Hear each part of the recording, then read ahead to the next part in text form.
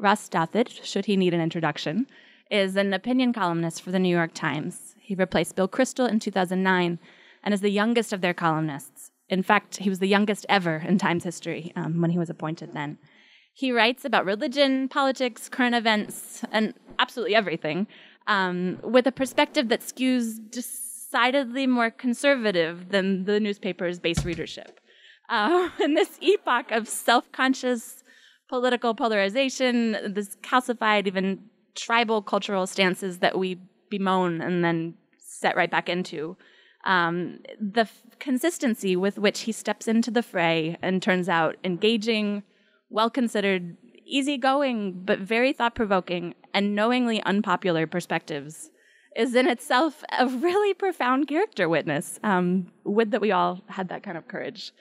Uh, Mr. Douthat's books include Bad Religion, How We Became a Nation of Heretics from 2012, um, and then Privilege, Harvard and the Education of the Ruling Class, and with a co author, Reihan Salam, Grand New Party How Republicans Can Win the Working Class and Save the American Dream. Prior, prior to. um, prior to joining the New York Times, he was a senior editor at The Atlantic and continues to write film reviews for the National Review.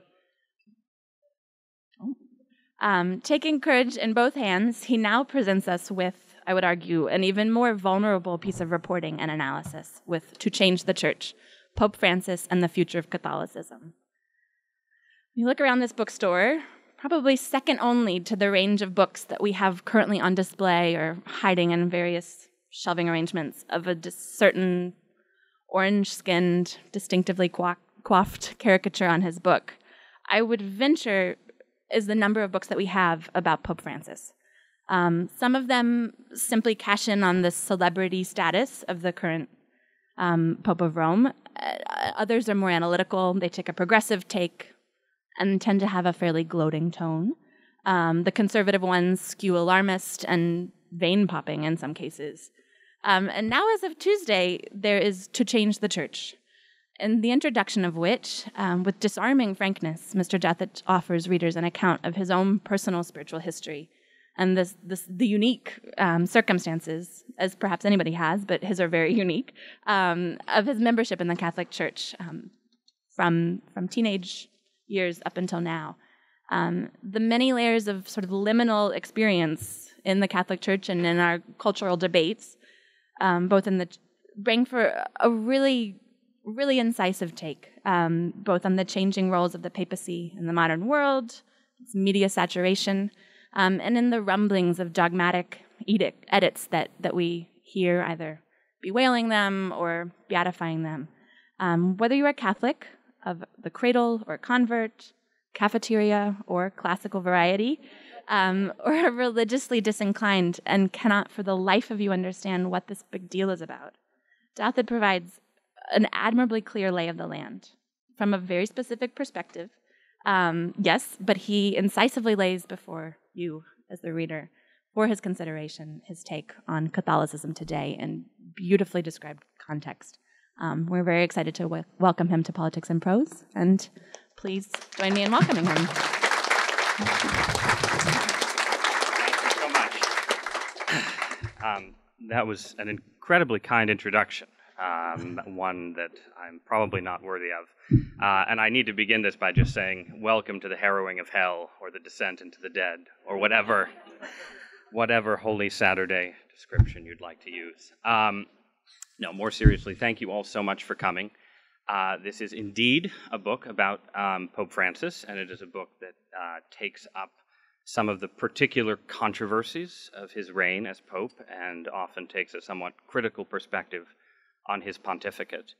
Uh, but it's also a book that strives, probably not entirely successfully, but does at least strive to contextualize his papacy and provide a kind of explanation of where Catholicism was and is upon his ascent to the papal throne, and from that context, what makes his papacy so interesting, controversial, potentially church changing, potentially world changing, and so on. Um, and since a lot of debates, particularly ones in which I am involved, tend to get to the sort of vein popping arguments fairly quickly. I, I thought I would try as an experiment in this in this talk, which is one of the first I've given about the book, so I apologize in advance for all the experimentation. I thought I'd try and divide the talk into um, a little bit of reading from the beginning of the book, um, followed by some extemporaneous discussion. Um, with the extemporaneous part being an attempt to briefly describe um, what Francis has done, why it matters, and why it's controversial. Uh, but the portion from the book is just, it's from the first chapter, and it's more of a kind of contextualization. It sort of sets the stage for this pontificate and tries to uh, give a sense of why it's so hard to be the Pope um, and why uh, that difficulty and Francis's particular responses to those difficulties are so very, very interesting. So I'll begin by reading um, and continue um, continue with um, some words that are not in the text itself uh, once I've set some of the stage, I think. So this is from chapter one of my book. Uh, the chapter is called The Prisoner of the Vatican.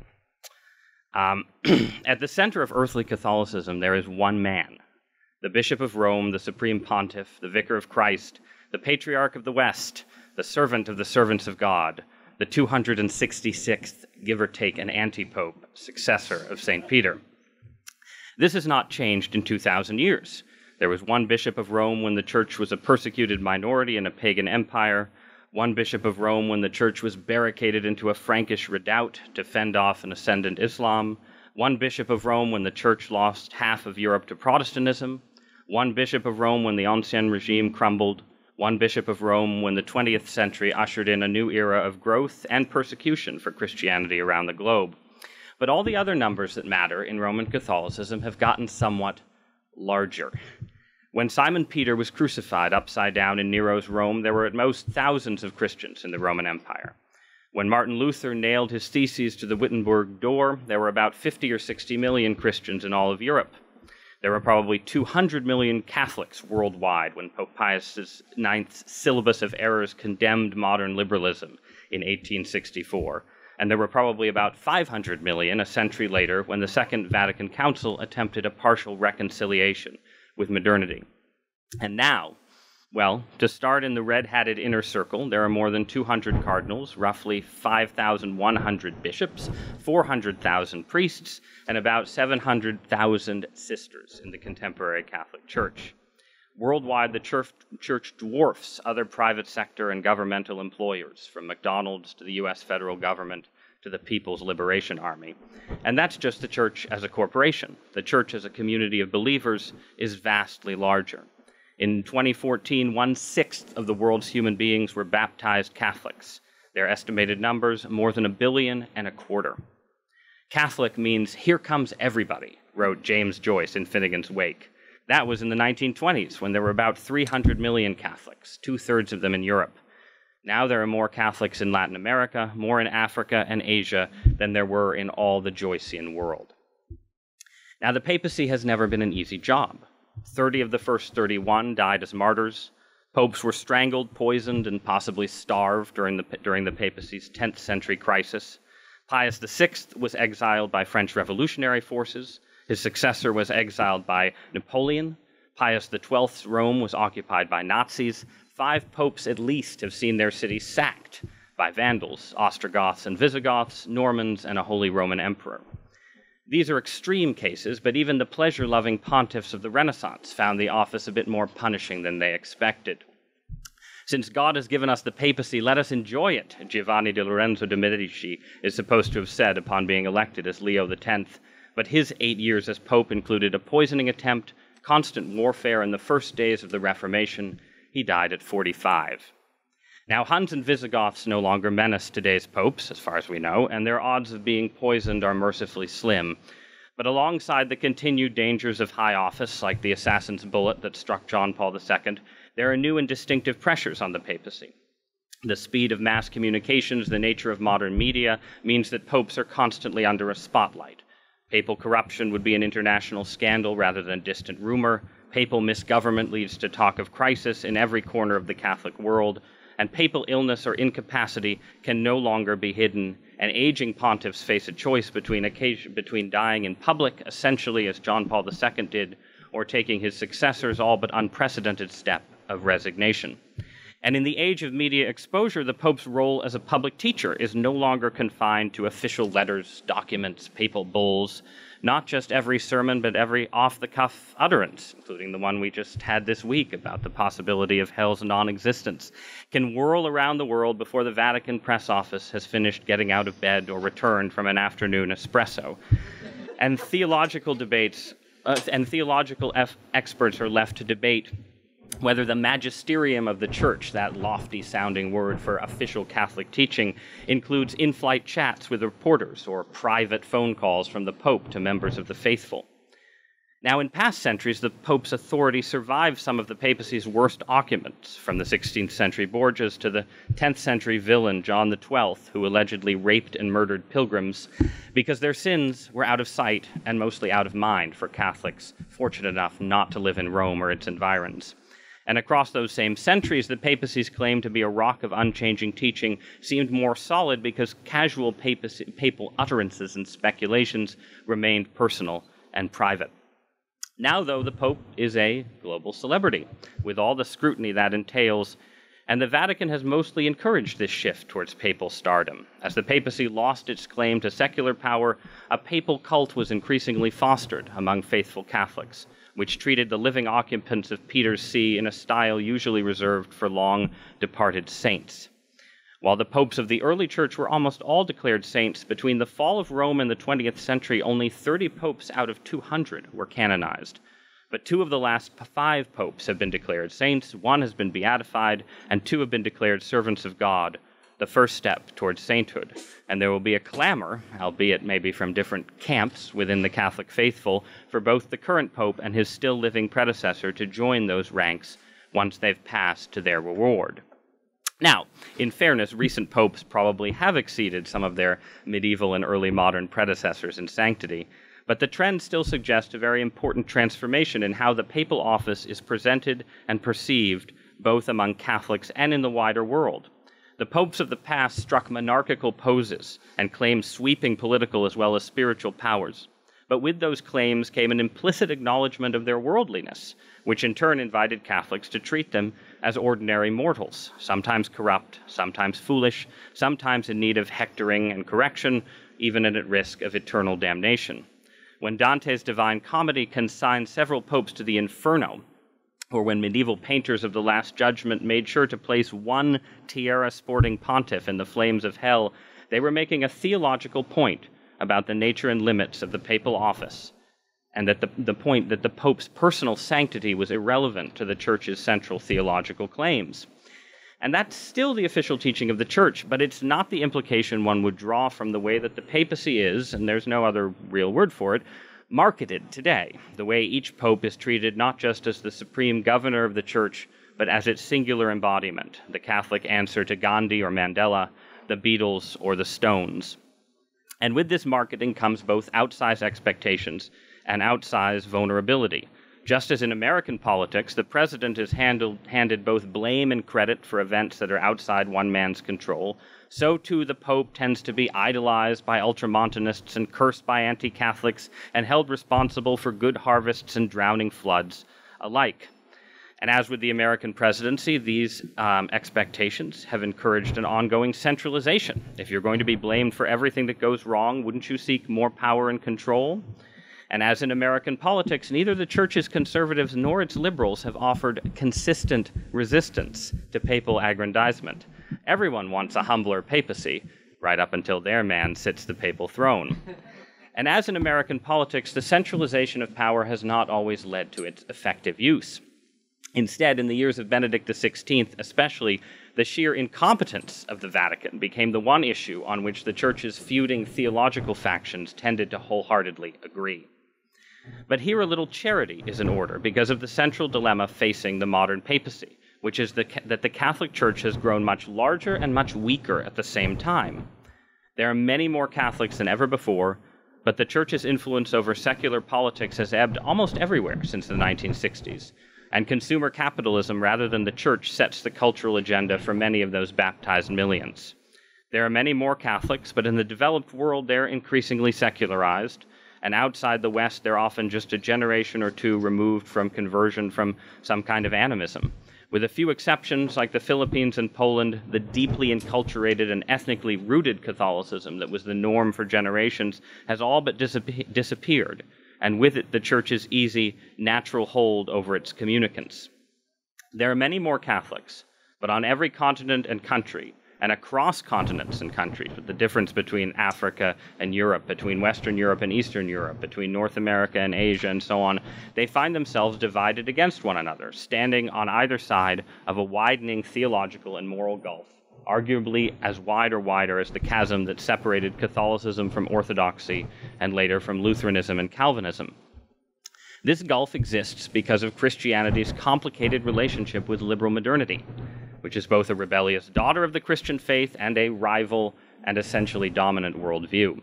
Every major Western religion, every faith tradition has spent decades and centuries wrestling with how far to accommodate to modernity and where and when to resist. The lines have been drawn over scriptural interpretation and historical criticism, over Darwin's theory of evolution, over church state separation and race and eugenics and human equality and liturgy, the role of women, the nature of marriage, over clothing and music and entertainment, the importance of missionary work, and in our own time, over the sexual revolution and all its works. And in each case, religious traditions that share a common theological patrimony have ended up deeply divided internally. The specific controversies vary with the denom- denomination, but there's an essential commonality to what separates liberal Episcopalians from conservative Anglicans, liberal Lutherans from conservative Lutherans, the same with Presbyterians, and so on through the list of Protestant denominations. And in each case, disagreements over how far a faith can go to accommodate modernity are the defining lines of division, and they've often grown so deep and bitter that fellowship and communion are imperiled and liberal and conservative believers have either grown apart or gone their separate ways. And in many cases, this division has been accelerated by the way that globalization has brought very different metaphysical landscapes in contact with, an, with one another and in, then in tension. The differences between America and Europe and Africa and Asia have hardened and accentuated the theological differences between, say, United Methodists or Episcopalians in the US and their co religionists in the developing world. Yet Roman Catholicism, which is more international even than any other Protestant denomination, and seemingly less well suited to containing doctrinal contradictions than, say, the Anglican Communion, which was basically invented to contain doctrinal contradictions, remains officially undivided. There have been small splinterings, yes. There were uh, after the First Vatican Council, some liberal Catholics in Germany departed for what they called the Old Catholic Church. After the Second Vatican Council, you had the traditionalists in the Society of St. Pius X go into a kind of quasi pseudo. We don't know, know, whether we're really calling it a schism. Um, but there's nothing, been nothing sweeping or permanent, nothing to rival the Reformation or the break with Orthodoxy, and nothing even as substantial as some of the schisms in Protestant denominations. Instead, Catholicism has found a way to contain multitudes, to straddle various liberal and conservative and modernist traditionalist divides with a su- superficial similarity in formal commitments masking deep difference in fundamental beliefs. And these differences burn hot with controversy when they touch on sexuality and gender and bioethics, but what lie beneath are often larger and more comprehensive disagreements about the purpose of the church, the authority of the Bible, the nature of the sacraments, the definition of sin, the means of redemption, the true identity of Jesus, the very nature of God. And thus, the, this sort of this combination explains why contemporary Catholicism presents a kind of strange Janus face to the contemporary world. Viewed from afar, it can look like the most antique of institutions, the last pre modern bulwark in an otherwise postmodern world, a strange ark from the Middle Ages still afloat in the 21st century's squalls. But then, viewed from the inside, from a more intimate angle, it can seem more liberalized, more modernized, and permissive than, say, many evangelical churches that once damned Rome as a foe of human liberty and progress. But that depends on where you look. If you look in other areas, it can appear as conservative or traditional, as its public image would suggest. And these tensions and contradictions are hardly a new problem for the church.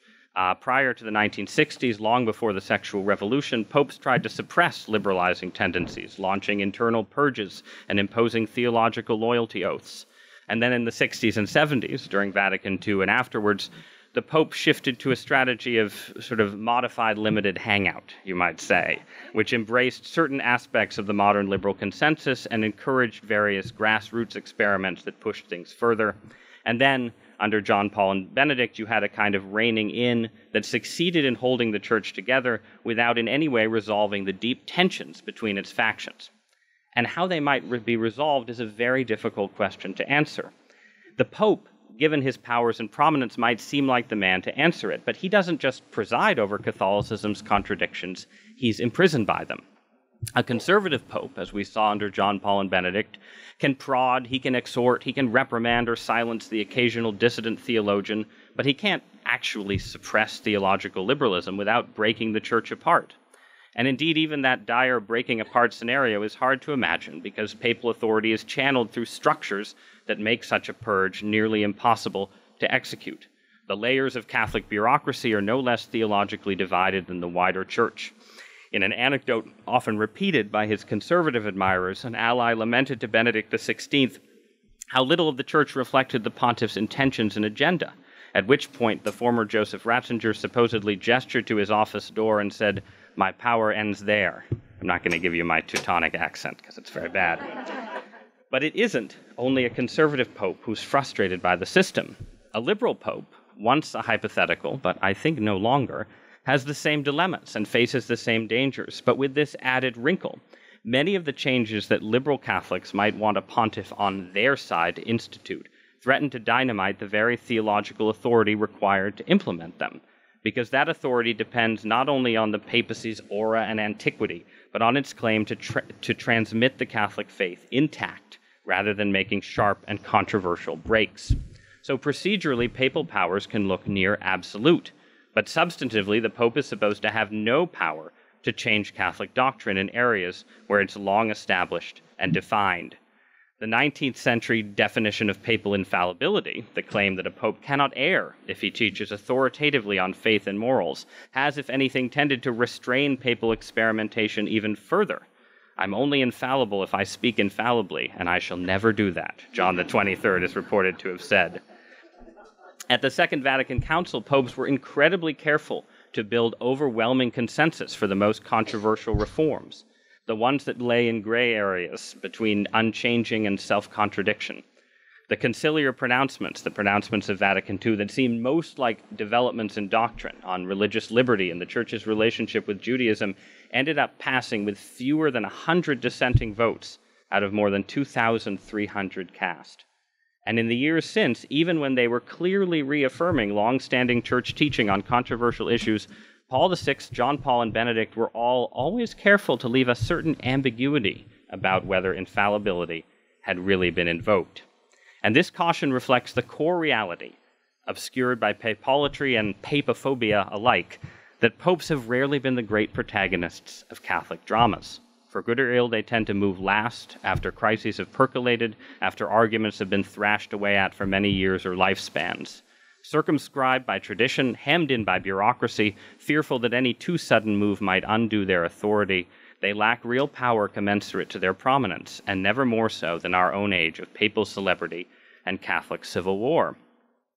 But what happens when a pope sets out to defy this reality, to slip through the bars and evade the constraints to act in a way that a watching world, and above all, perhaps a watching media, seems to want the man at the center of the earthly church to act.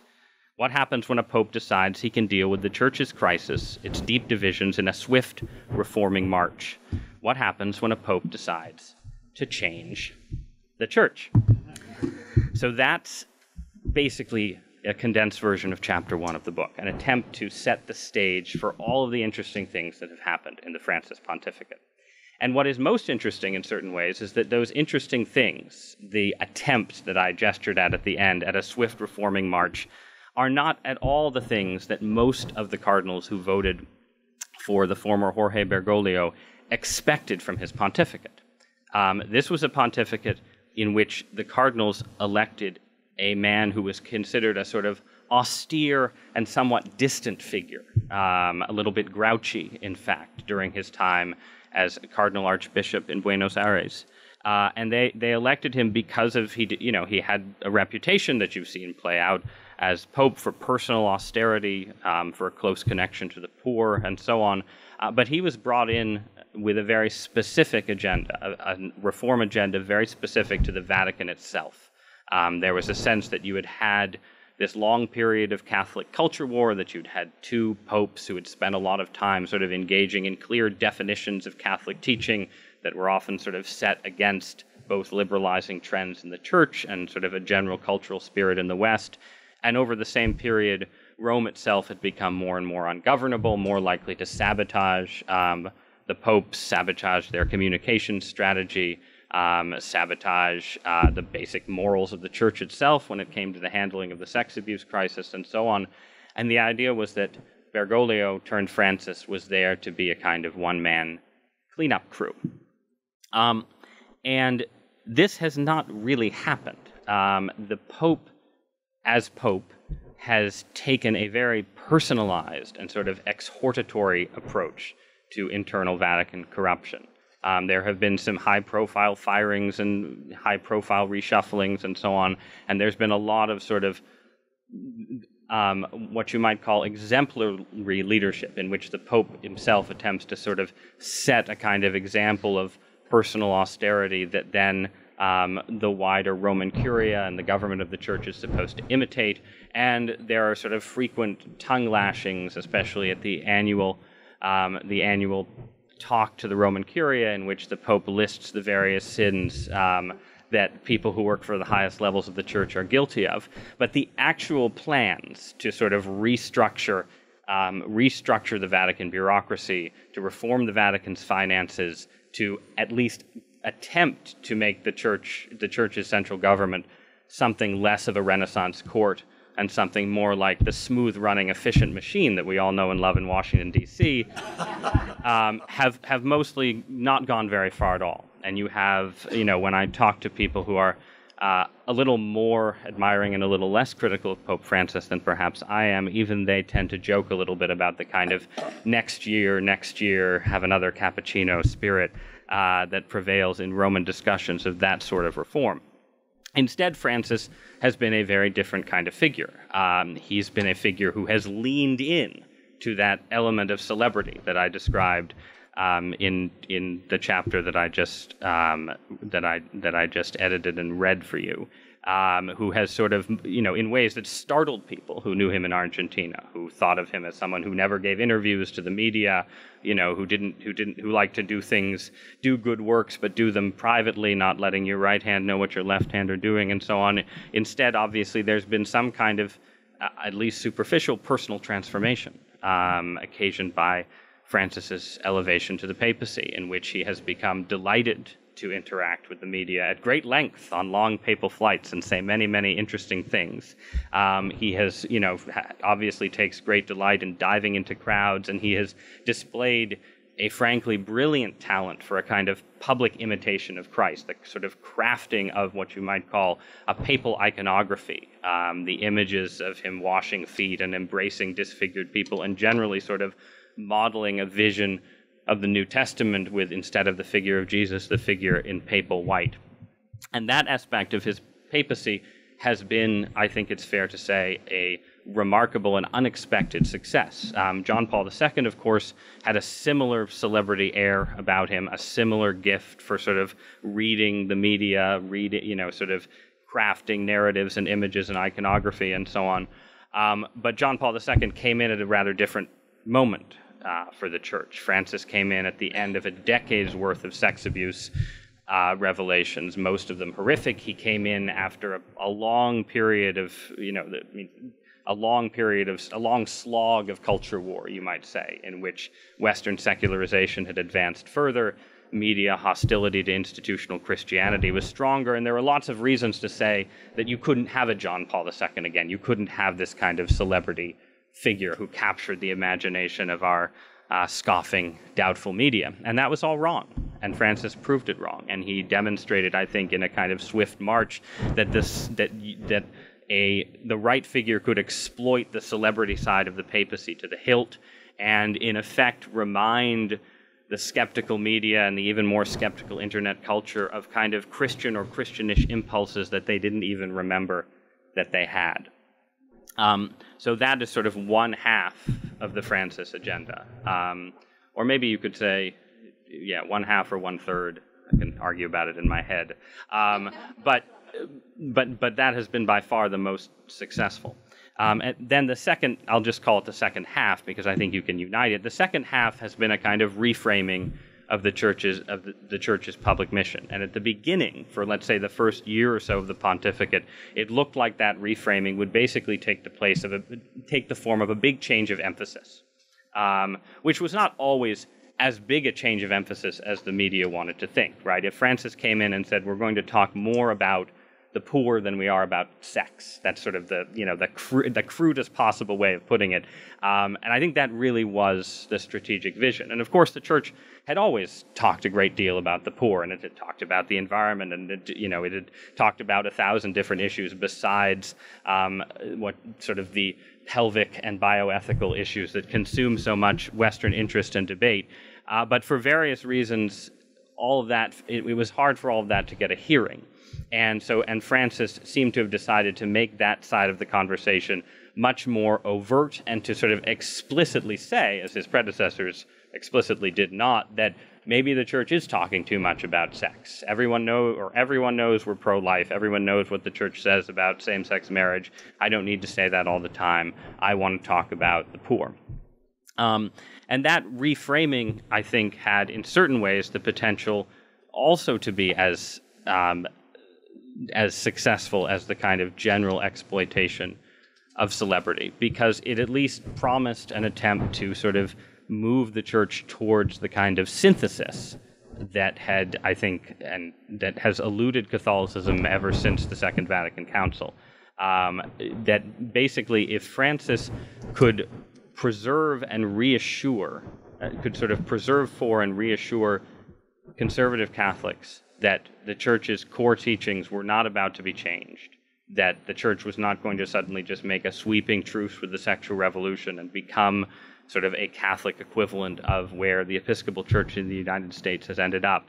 If he could offer that reassurance while also seeming to successfully broaden the church's message, to make it seem more capacious, to make the church's critique of the entire way the Western world works bring together the way we spend money, um, you know, and the, the, the way the way we the way we build and and treat our environments and everything else to sort of unify that as prior popes had tried unsuccessfully to do with the Catholic view on sex and marriage and family, then you would have the potential for the most successful pontificate of modern times. Um, but instead, Francis made, um, and I think continues to make, a different choice, uh, which is to, to take that initial change of emphasis one step further and actively seek an explicit truce um, with the sexual revolution. And I don't want to rattle on about this endlessly. I'll try and condense this to a sort of sharp point, and then we can move into a discussion and Q and A. But basically, starting about a year into his pontificate, Francis essentially turned a big part of his agenda um, over to the demands of Germ- the German Catholic, a big part of the German Catholic hierarchy, a long-standing demand for the Church to consider opening communion to divorced and remarried Catholics who had not received annulments.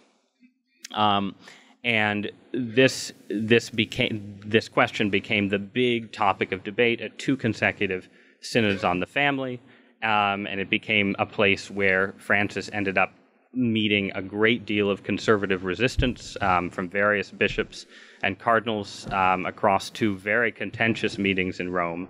Um, and it, is, it ended basically with Francis offering a kind of ambiguous permission slip in the form of a footnote to an extremely long papal document that has subsequently been, been interpreted, I think, quite reasonably by the German bishops and by many more liberal Catholic countries, diocese bishops, and so on, as a permission to uh, effectively say the following that the church still has a teaching about the indissolubility of marriage, and that teaching exists somewhere up here as an ideal.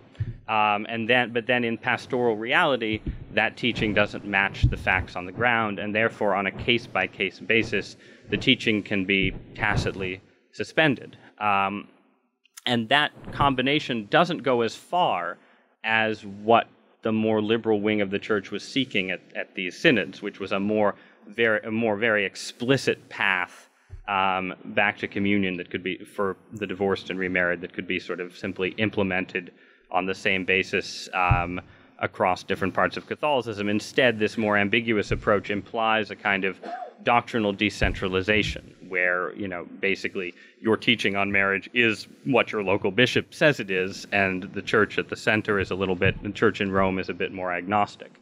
Um, but generally, the promise of this distinction, this sort of pastoral versus ideal distinction, uh, is that it promises a kind of truce between the church and the and sort of the culture of the developed world on a whole range of vexing social questions, most of them having to do with sex, but extending into wider issues of bioethics, physician assisted suicide, and so on. Um, it enables the church, in, in the best case to scenario, to kind of have its cake and eat it too. To say, look, you know, of course, we can't change any of these doctrines, the Pope can't break with his predecessors who made very explicit statements on these questions, but if we sort of separate doctrine and pastoral practice, um, we can eliminate this huge tension that nobody knows what to do about, and that nobody includes myself, I would say, between what you might call contemporary bourgeois culture um, and New Testament sexual ethics. And if you make a wide enough pastoral doctrinal division, that tension can simply go away. That's the best case um, scenario, I think, and it's the vision that Francis has in mind. Um, my critique of it, which is, of course, not unique to me, and I'm not incredibly well qualified to make it, being just a newspaper columnist, but I take heart in that it's made by people with considerably more impressive theological credentials as well.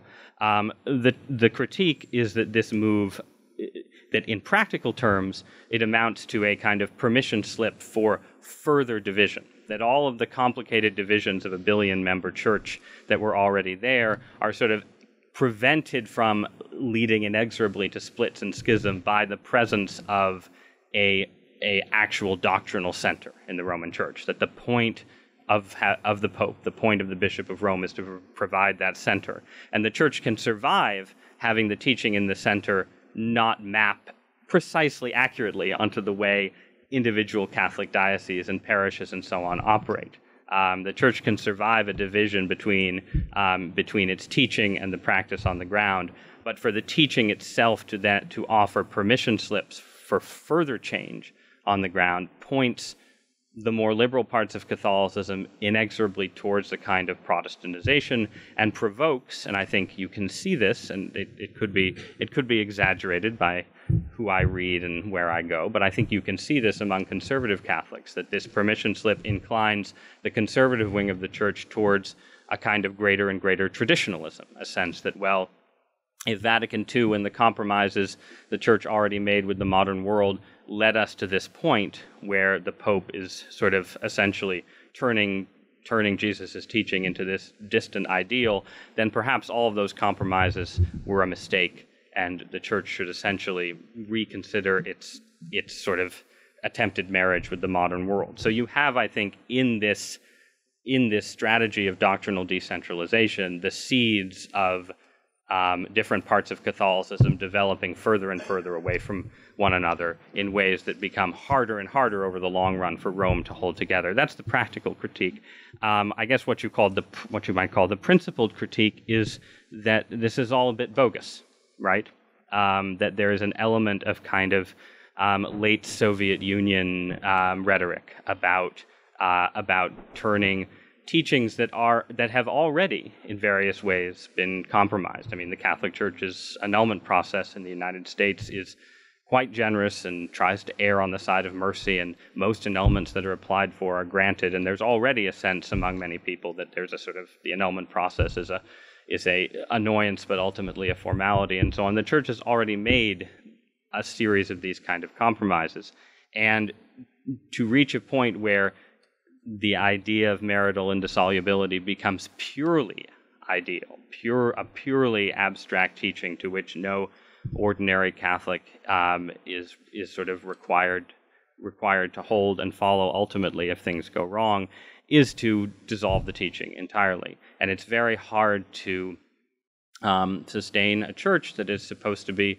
you know, founded by Jesus Christ himself and contain the most important truths about our existence if the way that you are sort of connecting yourself to those hard truths um, is similar to the way communist parties in their later stages of decay connected themselves to the words of Chairman Mao and Marx and Lenin. And since I believe that Catholicism is true, whereas communism was uh, damnably false, um, um, I, I, I think that taking the church in that kind of direction is the gravest of mistakes and um, a very risky gamble for a man charged with a difficult, constrained, burdensome, challenging, but extremely important office, perhaps the most important office in the world.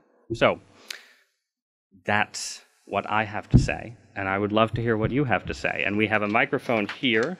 Thank you. So we have we have we have two microphones, and since uh, the bookstore is recording this talk to give to the Swiss Guard, um, so that I can be arrested later, um, please speak into the microphone. At least raise your voice at the end, so it sounds like a question.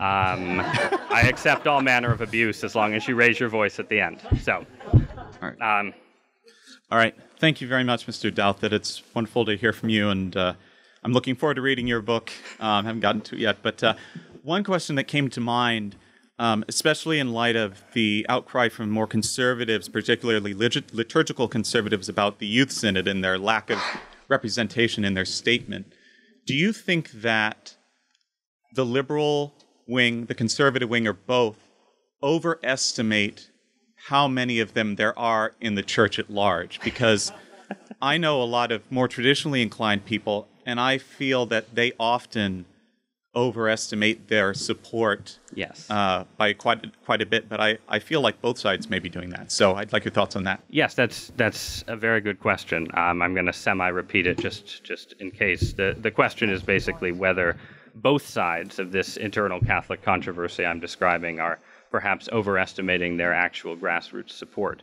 Um, and with a particular reference to uh, there's a the next synod in Rome is a synod on the youth, uh, and so there was just this big squabble over the document that a group of young people put together because a lot of traditionalists um, felt that it was not, it didn't have enough to say about the traditional Latin Mass um, and and other aspects of traditional liturgy.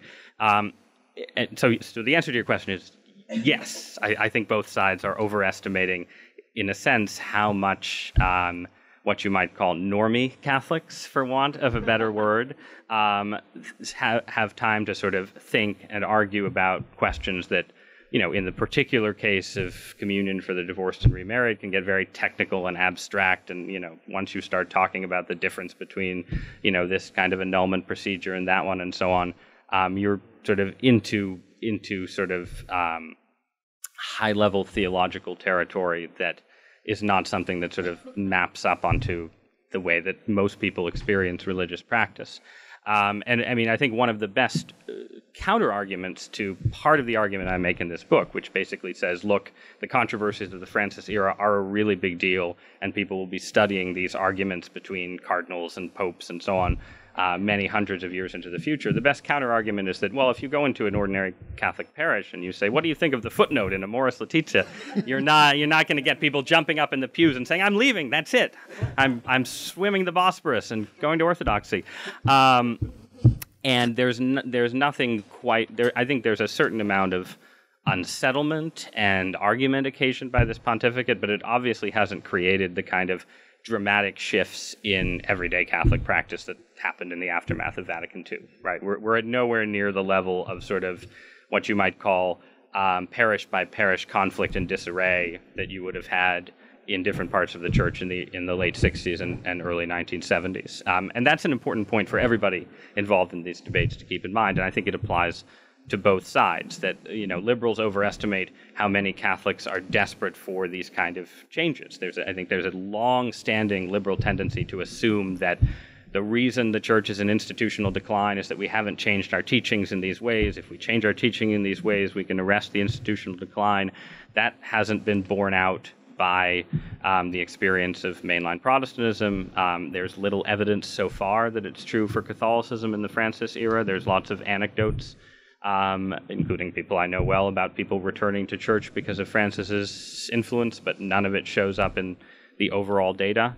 Um, but at the same time, you know, conservatives, and this was especially true under John Paul II and Benedict when the conservative wing was in charge of the church, they just, yeah, they overestimate how many people are willing to, you know, are, are sort of look at Catholicism and care that much about you know this doctrinal continuity right this stuff that you know when you write for a living and you're a newspaper columnist and you want to write about intellectual argument seems very important but yeah in the lived reality of ordinary catholic life um, seems less so when you're just trying to get your kids to mass on Sunday on time, which is a particular challenge. Um, so I think at the same time, the nature of any large institution is that elites ultimately set the tone in ways that don't necessarily change things overnight for people in the pews, but have a kind of cascading effect. And this is particularly true for a church like the Catholic Church that has a sort of clerical caste, right? I mean,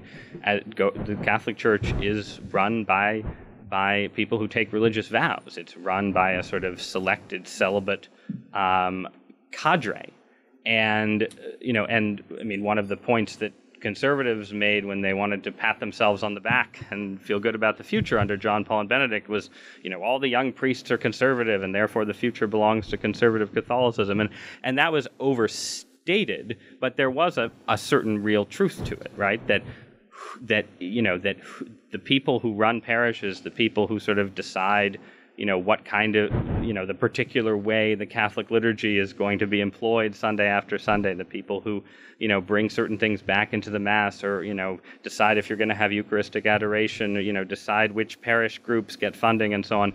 Those people do have a lot of power to shape the future of Catholicism, and those people are in turn shaped in all kinds of ways by the decisions that are that are made at the top. And the same is true just sort of generally of this kind of the sort of permissional approach that I'm that I'm describing, where you have sort of more space for different parts of Catholicism to sort of fulfill their various destinies, right?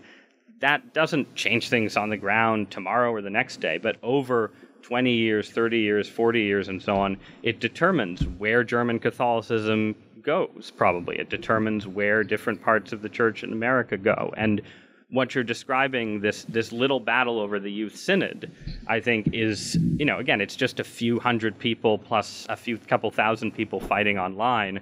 Um, but those are the kind of people who are going to be um, you know sort of run you know most active in parishes most active most likely to you know join religious orders most likely to you know go up to their priest and complain about the liturgy in various ways as catholics do like to do. And all of that has an impact. And the fact that in that case you had this sort of this this sort of intense group of traditionalists who kind of freaked everybody else out, involved out i think is itself a signifier of sort of where these debates are going. That sort of a more liberal pope can almost paradoxically, you know, disempower conservatives, but that means empowering traditionalists, and that you know in turn creates more pressure on traditional Catholicism to go this way, even as let's say German Catholicism has more and more pressure to Protestantize, to say, well, we don't have enough priests, so we need lay run parishes. You know, we don't have enough parishioners, so we need to find a way to welcome Lutherans and so on, combine with Lutheran parishes. Like all of these pressures are long term, but they can be exacerbated in various ways by the decisions made at the top. That was a very long winded answer, but hopefully somewhat interesting. Sir. Yeah, so you talk sort of about this ultra Montanistic celebrity surrounding the Holy Father, but for the first time since Celestine V, we have both a Holy Father and a Holy Father Emeritus. Uh, so how does that affect this, you know, cult of celebrity, especially given given the Lettergate a couple months back where one where for those who don't know, a Please. letter that Pope Benedict XVI uh, wrote upon the release of uh, a series of volumes on Francis's theology was edited so that the last two paragraphs were left out, including a, including a paragraph critical of one of the writers of the volume. So, and whenever it came out, this was obviously quite a big scandal because so many of the more conservatives uh, were like, "Oh, guess only the liberal theologian, guess the liberal theologians only like the Pope when they've got one of theirs." Um, it's exciting times in the church. It, We're doing a lot of fun things in Rome these days. Yeah, but what happens to sort of this ultra Montanistic celebrity when we have both the Pope, but also this elder statesman figure like Benedict, who pops into the public spotlight every now and then, whether he wants to? Yeah. Um, that's a very good question. The question is about um, what basically what happens to this celebrity I've talked about in a kind of year, you know, not just year, but decade of two popes scenario like we have right now. Um, my sense, based on Francis's uh, experience to date, is it doesn't necessarily affect the celebrity. Um, that my my view when Benedict resigned was that it would have a kind of demystifying effect on the office. That with especially over time, if it becomes an expectation, basically that popes resign, that that creates a kind of shift towards more of a CEO model and less of a kind of paternal model um, for the church. And I say that sort of with full understanding of all of the reasons that Benedict wanted to resign. And um, you know, I can't even begin to imagine what it would be like to be in that office um, at, at, his age. But it, it, still felt like sort of a step away from, yeah, the sort of mystical element of the papacy, the extent to which it's this incredibly powerful office that involves literally laying down your life. Um, with that shift, you could imagine that affecting the celebrity quotient because you know celebrity thrives a little bit on mysticism, probably. Uh, but Francis has showed that it, I, I, I don't think it's had that effect yet. And certainly, you can see in the in the secular world that you know the possibility that Steve Jobs could resign did not minimize his celebrity while he was running Apple. So there's no necessary reason why being a CEO and being a celebrity are incompatible. Um, I think the you know the sort of the controversies over over different ways that Francis's people have been seen as manipulating Benedict's message, or ways that Benedict has been seen as intervening to undermine Francis, and so on, are pretty good, sort of ordinary, prosaic reasons not to have two popes. It's a very strange and bizarre thing. Um, and you know the sort of the conspiracy theories that have inevitably sprouted as Benedict, as Francis has seemed to reverse teachings or tweak teachings and so on that Benedict offered. That's again a sort of inevitably negative downside of having two popes. I will say I've actually been a little surprised given that this is the first time that we have a Pope Emeritus and that there's this sort of obvious glaring tension between where Francis seems to want to go and where John Paul and Benedict were, that there isn't more conspiracy theorizing. Um, this, I guess, is sort of connected to my surprise that the Trump presidency hasn't actually led to every American city burning down in a you know a, fur- a, fur- a furious a furious uh, violence. It may be that all of that is now redirected into Twitter, um, and so so you know the, Catholicism will hold together because people will only feud in virtual space. But I I've been I think yeah I guess my underlying point is just that having two popes creates all kinds of new and distinctive problems, and it might almost be impressive, given all the controversies around this pontificate, that um, vacantism, you know, the, the, this, these sort of obscure ideas about popes being illegitimate or papal elections being nullified and so on, haven't gained more ground among conservative and traditional Catholics. Sir. Uh, thanks for being here. I've been appreciating your commentary uh, for a long time. Thank you. Uh, uh, a question of doct- for seeking doctrinal clarity as well as just a, a, broader question on doctrinal clarity. Is it divorce or remarriage that yes. makes a Catholic ineligible for communion? And on the broader question of elites setting the tone, is that really true when, for example, birth control, the I don't know if the vast majority, certainly the majority of American Catholics have been ignoring that for generations? Yep. So, um, so so to the first two two questions, one about the, the latter about um, whether elites really have that much influence, given uh, how few American Catholics and Catholics generally practice uh, practice birth control, or I mean, use natural family planning as opposed to artificial contraception. Then the first question, the point of clarification. Um, so it is it is remarriage, not divorce, um, that precludes receiving communion, uh, and the although the the church historically has been you know pretty harsh on divorce in all kinds of ways, the official view is that you know divorce is acceptable when it's necessary. Um, but it's the, the the issue is basically just that the church considers you know, it basically says you can have only one real marriage in your lifetime unless your spouse dies. Um, and um, and you know, in the early church, there were some controversies about whether you could have a second marriage even after your spouse died. Um, but you can have only one real marriage, and therefore, if you cannot obtain an annulment saying that your first marriage was not, you know, not real, void in some way, um, then you're in a state of public adultery if you if you are married again. And as long as that's the case, you can't receive communion both because it's an act of sort of public contradiction of the church's teaching, and also because, um, in effect, you need to be protected from committing sacrilege. And the church, the church also says, look, you know, we don't know who's in mortal sin and who's not. We don't know, you know, the extenuating circumstances and all the complexities. Um, but we, you know, it, we have to assume if you are you know, living with someone who's not who's not your actual husband per the church's wife lights or your actual wife, um, that you're committing adultery. And if you're committing adultery, taking communion, you know, you, if you're committing, if it's ongoing adultery, you can't just confess it because it's ongoing. You don't intend to stop.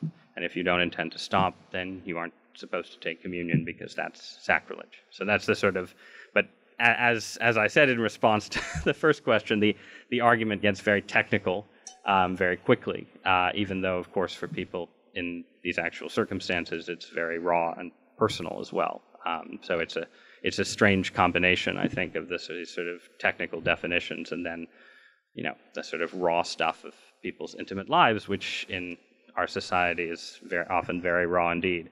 Um, to the second point about elites, yes, you know, if if there is a wide enough gap between, uh, you know, if there's a wide enough gap between cultural practice and what the elite are trying to teach or advance, then you know then then there's a clear limit on how far that elite can actually get in terms of shaping everyday Catholic practice and belief. Um, at the same time, there is you know what what conservative Catholicism under John Paul and Benedict did was basically sustain a kind of you know a kind of conservative church within the church that does, you know, practice natural family planning, does try to, you know, follow all of the church's teachings around marriage and sexu- sexuality. Um, so it did have that effect, um, but that effect was concentrated among, I'd say, about 25 to 30 percent of regular churchgoers. That's my guesstimate. You know, the statistics vary, and there's a million different ways to slice it, but basically,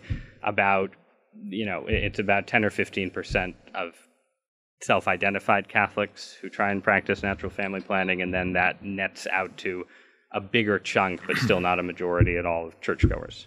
Um, but, but, but yes, I mean, there are, I mean, I think, and this is again goes back to the first question, there are, there are hard limits seemingly in the Western world on what either liberal reformers or conservatives can sort of do about this tension that we have between sort of how we live and what the New Testament says. And the liberal response has not netted, you know, new evangelization and growth. I think the conservative response has essentially um, prevented dissolution without either without creating new growth necessarily either. And so that's why we keep having this debate over and over and over again. Thank you, ma'am. Hi. Um, I am not a Catholic, so this will not be a doctrinal question. um, I, I accept all questions. okay. I consider myself a Jewish Unitarian, so that should tell you something. A proud member of the New York Times reading base. and um, I read you from time to time and found, find you often illuminating, iconoclastic, interesting, and you're somebody that I keep on saying to my liberal friends, you ought to read him from time to time. Very kind. so um, they might be slightly disappointed. well, sometimes I am disappointed, but sometimes I'm, I'm like. And so this is one of the times because um, I given your iconoclasm, given your ability to see things in new and different ways, your embrace of doctrinal documents thinking mm-hmm. is is surprising to me in, in, the intensity of your embrace, and I'm I'm wondering if you think that. Um, I imagine I haven't read, but I imagine you're a constitutionalist, a um, not entirely, um, but using the American Constitution as mm-hmm. something mm-hmm. as a foundational document, that you might agree that um, African Americans, they're not three fifths of a person, and et cetera. There's many things in there that you would say are not in keeping with the America. Right. The, the basic ethics of the American experiment. But America was founded by Protestants. so similarly, there are many things in the in Jesus' teachings that I wonder if Jesus were alive today, he might see differently given the same foundational ethic Right. That he might say the world is a different place today. And I'm, you know, could see how things would be shaped differently in doctrine.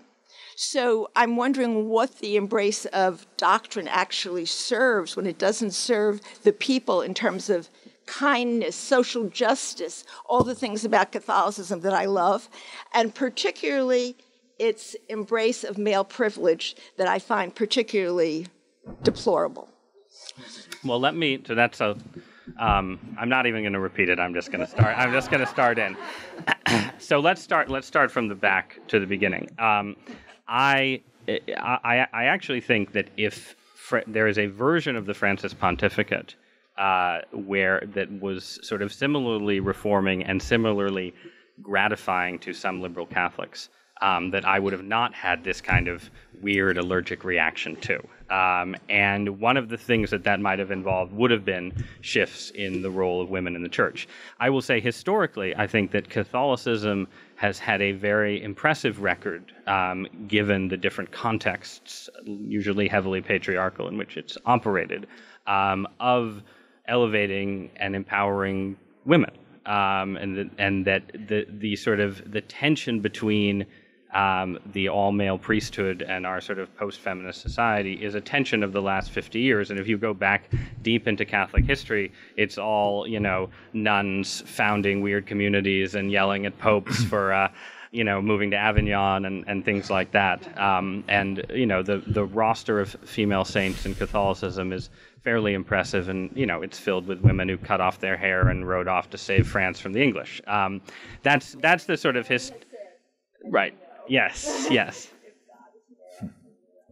Right. So, so uh, if if Pope Francis had come in and said, "Look, you know, we're going to, um, you know, maintain the all-male sacramental priesthood, but we're going to, in our as a big part of our Vatican reform, we're going to put nuns in charge of these 17 offices. We're going to consider, as he has considered, um, ordaining women to the diaconate, and you know we're going to even consider um, you know appointing a woman as a cardinal, right? All things that would give traditionalists in the church hives. Um, I would have written, you know, uncertainly and skeptically maybe about some of those moves, but I could have been talked into them, um, and I probably, I probably still could. It's the, it's the change, you know, because again, if you go back to the New Testament, Jesus' attitude towards women is fairly different from the broader patriarchal attitude of his time. And indeed, since we're here on Holy Saturday, we're you know we're in the midst of a portion of uh, the Christian liturgical calendar in which the focus is on how all the men ran away, and you know the women were still there, and they were. Despite their inability to be legal witnesses at the time, they were the first witnesses to the resurrection and all the rest. So um, I don't I don't have a necessary problem with a Catholic Church that learned something from sort of the experience of feminism and sort of the changes of the last 50 years. There are limits to what I think the church can learn from it, but I don't the idea does not I don't have a sort of necessary objection to it. Um, to me, the difference is, and I'm joking about the Protestants and the Constitution, but the fact is that I don't think that the Constitution was God's final revelation to humanity on earth. And I became a Catholic uh, because I thought there was a good chance that the New Testament was. And if the New Testament is, if, you know, this, this sort of central revelation, and if Jesus of Nazareth is himself, um, you know, the, the, the sort of an embodiment, the embodiment of of you know the second person of the Trinity, all, all the rest of that non-Unitarian stuff. Um, if that's true, a- and if this same Jesus is, you know, you praised me for my very limited and modest iconoclasm in the pages of the New York Times, but Jesus is a very willing iconoclast, right? Jesus is very happy to come in and mess with gender norms and you know attack the rich and attack the the priestly the you know priestly caste and all the rest. Uh, if he has that kind of willingness, why does God in this revelation decide to have Jesus also set up these sort of more more absolute, not less, more absolute teachings about what the nature of marriage is, um, what the human body is for, sex, and all the rest of it. Um, and you know, I, I think if you take a kind of a sort of what we would call a low Christology, right? A view, a kind of semi-Arian view of Jesus, where his his godliness is just sort of a piece of him that he gradually becomes aware of, and so on. Then, you know, yeah, you can tell a story where there's big chunks of things that he gets wrong, and so on. Um, and one of those might be sexuality, and we've sort of come into a fuller conception of that. Um, but I mean, I'm not I'm not wildly impressed with the sexual world that we've built since the 1960s. And my impression from talking to my feminist friends and acquaintances is that they're not wildly impressed either, even if they wouldn't want to put the Catholic Church back in charge. They're not wildly impressed. So, first of all, I'm not sure that 50 years of experience and experimentation is enough to persuade me to sort of ditch a high Christology for a low Christology in order to convince myself that Jesus would have been fine with the world that gave us um, Hugh Hefner and Harvey Weinstein. Um, and I also think you know there's there's a sense in which it it it turns God into someone who doesn't play fair. Right? God sends his only begotten son, who he so loved the world, he sent his only begotten son, and by the way, about this incredibly important aspect of human life, the way that we bond with each other and pair off and have children and rear them and so on, he told us a bunch of things that were cruel lies. Because that's, cause that's what it amounts to, right? You're saying that, because, you know, Jesus doesn't, I mean, if, if Jesus is wrong about this, he's really wrong. Um, in ways that imply, sort of, you know, from a modern liberal perspective, the way the church enacts its teaching on these things is cruel. And if you think that, then it's not clear to me why you would invest so much faith in the idea of Jesus as, you know, direct, you know, direct from God, basically. It seems to me that, you know, if God thought that the sexual ethics of 2017, 2018 were closer to the truth than the sexual ethics embedded in the New Testament, he should have embedded our sexual ethics in the New Testament. And the fact that he didn't makes me inclined um, to prefer my iconoclasm against the current sexual order to an iconoclasm against the New Testament, if that if that makes sense. Um, and look, you know, and I mean, look, I, I live in the world. I I am not, uh, you know, I'm I'm very aware of all the cruel uses to which Christian sexual ethics can be put. Um, and I could be wrong, you know, and I try and try and be open-minded about that. But it's worth remembering that, you know, I'm up here as a conservative, right, defending the conservative positions of the church. But the conservative positions of the church in the New Testament are, I mean, these are radical ideas. The conservatives in the New Testament are the Jewish priests who say, well, the Mosaic law has all these rules about divorce. And Jesus is saying, no, you're sort of, that, that approach is not what God wanted. And the thing about Catholicism um, is that it's at its best, it's taken the most hard to believe things Jesus says. Marriage is for life. You've got to eat my body and blood. Some people have to be eunuchs for the kingdom of God, and it's tried to actually instantiate those across 2,000 years, and it's often failed, and it's often, you know, had some unfortunate interludes and episodes. But that that radicalism is part of what impresses me about the church. And to the extent that you see a radical sort of under my conservative shirt in the pages of the New York Times wrestling and trying to get out, that radical likes it likes the weird, the weird, but it likes the weird, you know, it likes the the weird stuff in the New Testament, and it wants the church to stay weird. so. I'm afraid we only have time for probably two more questions. Okay. Okay. So, sir. Hi. So, um, I this was actually a great lead-in for mine. I too am a secular progressive Jew who's read you for years and always found you to be, even though we disagree on many core things, uh, fair-minded and provocative and interesting. So. Uh, and uh, I know that one thing we definitely disagree on, um, and I'm sure I'm not the only one in the room who does, is, is abortion and Roe versus Wade and whether a woman has a right to choose. Uh, and uh, the reason I bring this up is because I know that um, your your former employer, The Atlantic, has just hired a conservative writer named Kevin Williamson. Uh, no, no, no. I want to ask the question. And your and your the current editor of The Atlantic was here. Oh, interesting. I think he's, I think he's disappeared. Oh, he's that's that's too that's too bad. Really that's too bad. Well, him. well, no, no, but I, I have a question for you. So, um, and I know that your um, two of your colleagues just in the last 48 hours at the New York Times, uh, Michelle Goldberg and Bret Stephens, have already weighed in on opposite sides of this. Um, now, Williamson has made a number of controversial statements, but the germane one here and the one which uh, NARAL Pro-Choice America is circulating a petition about is uh, where he said that women who have abortions should be hanged. Um, and uh, not only NARAL and and I, I, I infer your colleague Michelle Goldberg, but also many feminist writers like Jessica Valenti have basically called for him to be fired um, before he's written a column there. So my question's for you. I'm not going to ask you to weigh in on whether he should be fired directly, as you say. That's for the editor of the Atlantic. My questions for you are: number one, do you agree with Kevin Williamson that women who have abortions should be hanged or in any other way executed? Number two, how would you situate that in the context of Catholic doctrine as you understand it? And number three, do you consider those remarks appropriate and responsible for a mainstream conservative commentator, commentator such as yourself? Uh, and those are Okay, so uh, thank you for your question and for your kind words about my supposed intellectual consistency. No, no, I, I'm not. I'm, I'm, and I'm being, I'm being sincere in return. Um, so the answer, I'll try and make this brief. This is another one where you could spiral out endlessly. Um, but no, I don't think that women who have abortion should.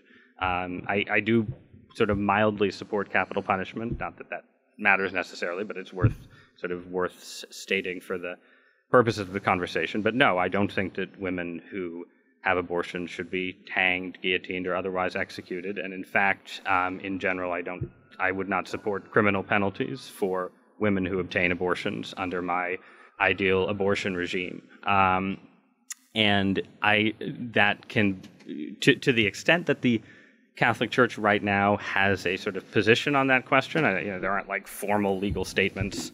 That's also the Catholic Church's position. If you went up and asked a random pro-life Catholic archbishop what he thinks, you know, about this question, he would he would agree with me, I'm sure, and probably be even more vehement about it. Um, as to the consistency of that, sorry. Um, we could be here a long time for that for that discussion. So we'll we'll but but they would they would agree bracket the capital punishment issue. They would agree that criminal penalties should should not be should not be applied. Now, the consistency, the point that that's then raised about that is, of course, you know, what, how can this be consistent if you think that abortion is intentional killing and murder, and you support, you know, if oh, if a woman killed her six month old child, you would have her put, put in jail and so on. Um, why don't you have the courage of your convictions to be um, the extremist that then we can, you know, petition to have fired? Um, and I, I think it's a, I think it's a complicated question and a totally reasonable question for the pro-choice or pro-abortion side to ask. Um, generally, my view is that it is the the arguments the the pro-choice arguments for abortion are st- are not strong arguments for abortion itself.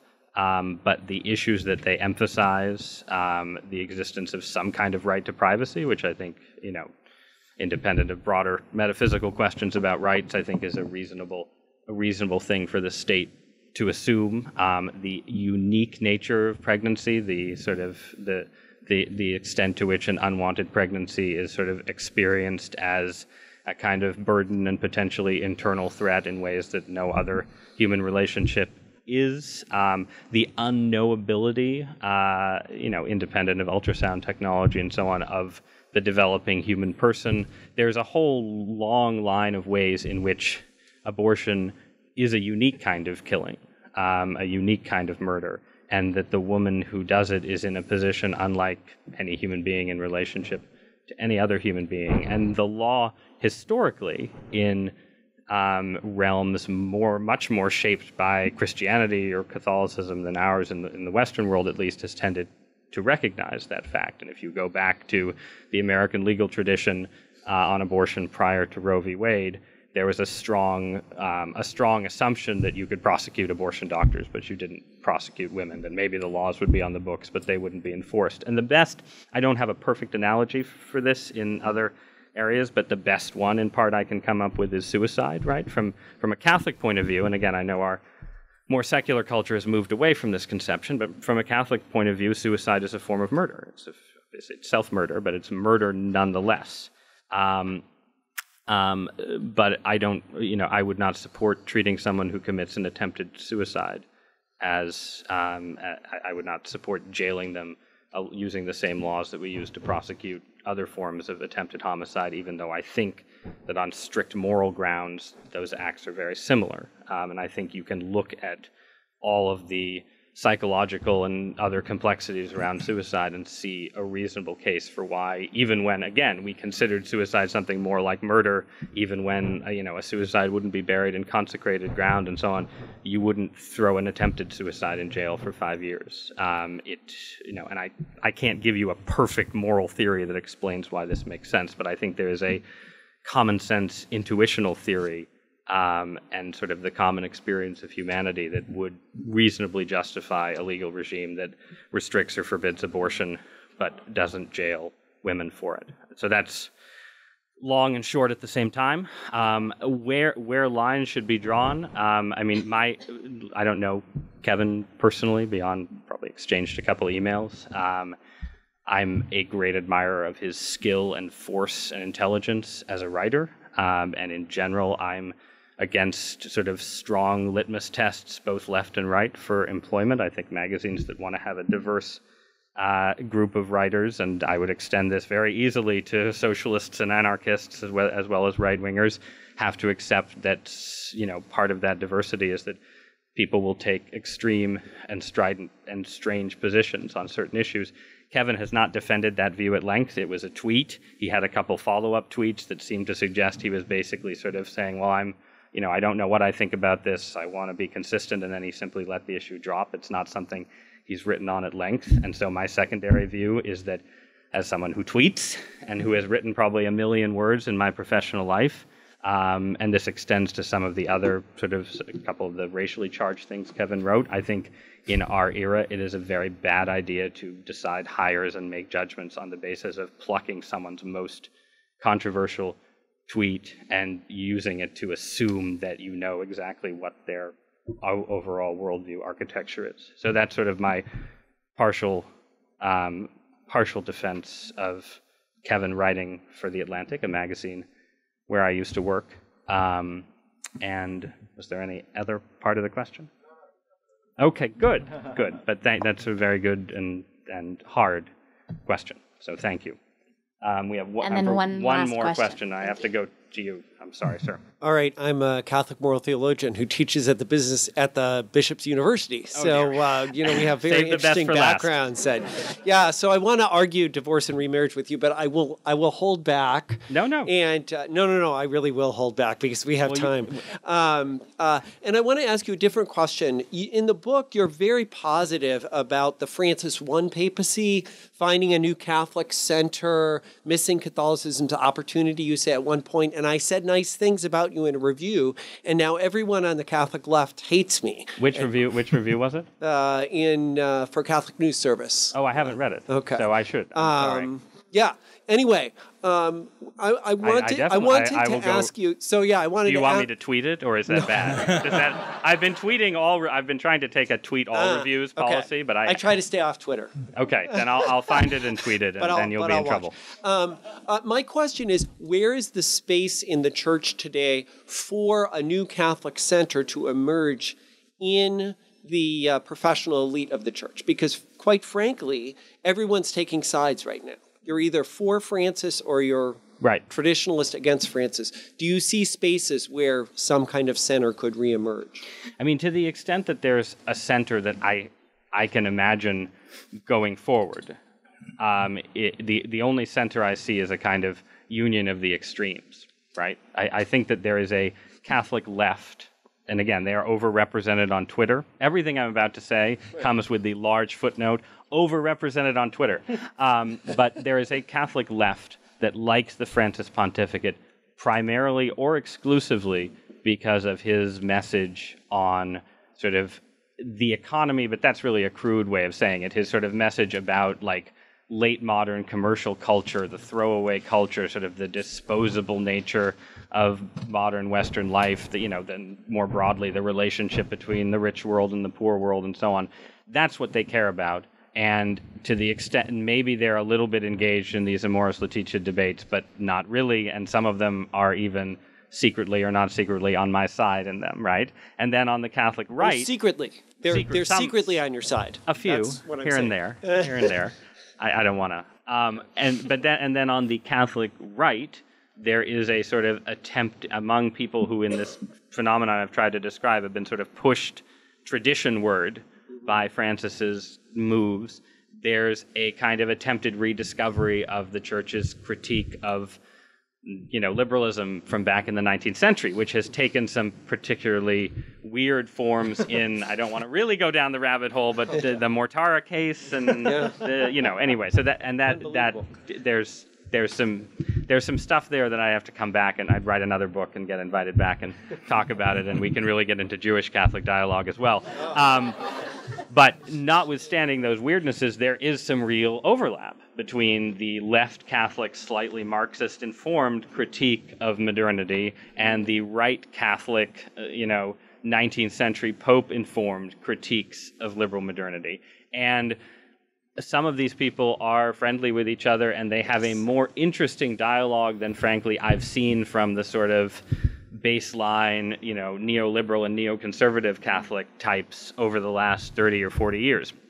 So, so that's if you want a case for some sort of new center. It's basically that as Western civilization collapses and breaks down completely, okay. and there's riots in the streets and cats and dogs living together and so on, the most radical forms of Catholics, left and right, um, will discover that they have a lot to talk about as they try and put put sort of the pieces of everything back together. Um, the pessimistic take is that there's there's a, a less radical version of that that's just basically saying you know, the church, the, the natural Catholic center is morally conservative and socially liberal to populist. And that's sort of where, you know, it, that sort of worked in the US in like the context of the New Deal. It worked up until the sexual revolution. It can't map exactly onto our political debates, but like, you know, even someone like Donald Trump sort of gestures at it when he tries to combine, uh, you know, when he tries to combine being pro life, or in his case, pro life, and sort of having having a more populist economics than the Republicans usually have. That's, in fact, in certain ways, what I see as the project that I have myself worked on a little bit in terms of American conservatism. We I had that joking eye rolling reference to my book Grand New Party, but the idea behind Grand New Party was basically that if the Republican Party became more populist, it could become effectively more Catholic and could be sort of pro life and pro family in a more thoroughgoing way than the Republican Party has been. Um, so that's that's sort of the that's where the less radical everything's going to collapse um, possibility for a center still lies. But I think f- the Francis era has made that sort of simpler center harder to reach for by, in effect, confirming a lot of conservative Catholics in their sense that any liberal Catholicism will just be liberalizing across the board. That if you're left wing on economics, like Francis clearly is, you're also going to be a big theological liberalizer.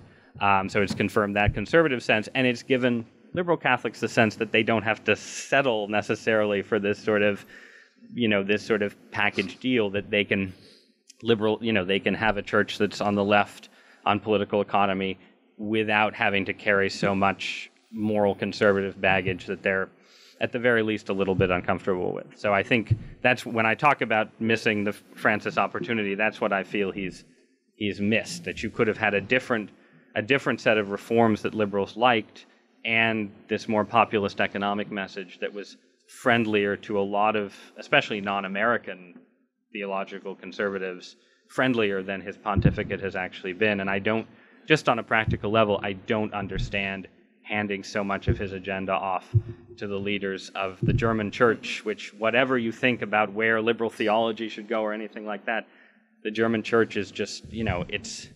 It's, it's, it's rich and empty, and it's I don't know what the future of Catholicism is, but it's not it's not in Germany right now. So that's that's where I'll that's where I'll end. But thank you so much for your question, and I'll look for your review. And thank you guys so very much for coming. I really really appreciate it.